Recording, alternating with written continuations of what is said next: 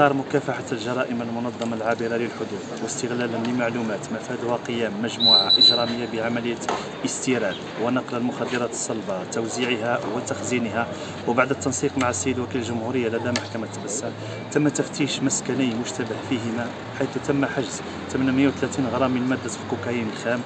3000 قرص مهلوس من نوع الاكستازي المصنف هو الآخر كمخدرات صلبة حيث تم توقيف المشتبه فيه الرئيسي فيما لا يزال البحث جار عن باقي أفراد الشبكة. التحقيق مستمر بالتنسيق مع السيد وكيل الجمهورية لدى محكمة تمسك